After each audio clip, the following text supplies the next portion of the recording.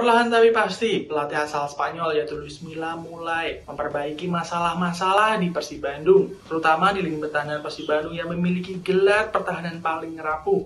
Terbukti sebelum ditangani Luis Milla, Persib Bandung sudah kebobolan 18 gol dalam 7 pertandingan saja.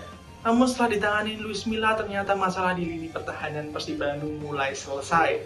Bahkan dalam lima pertandingan terakhir Persib Bandung hanya kebobolan satu gol. Tepatnya ketika Persib Bandung menghadapi tuan rumah PSIS Semarang yang berakhir dengan skor 3-1. Berkat Luis Milla, Persib Bandung kini memiliki rekor tak terkalahkan selama 14 pertandingan. Berkat Luis Milla pula, kiper Persib Bandung kini bisa bernafas lega. Pelatih kiper Persib Bandung yaitu Luizinho Pasos pun mengacungi jempol kualitas dari Luis Milla. Luizinho Pasos mengaku senang melihat perubahannya di bawah Luis Milla di lini pertahanan Persib Bandung. Baik menantikan penampilan Persib Bandung di laga selanjutnya.